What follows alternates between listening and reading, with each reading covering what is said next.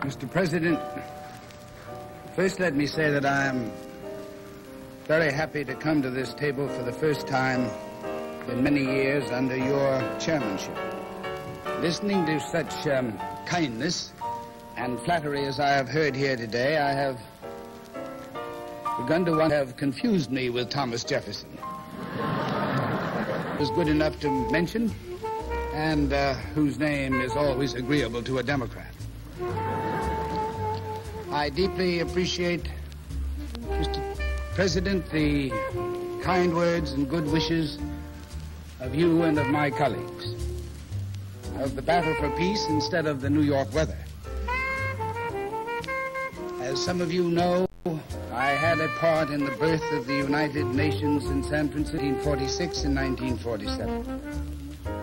And now it is 15 years old. And I am pleased to be sharing in the problems of its adolescence. We are, to use the French phrase, the nations united.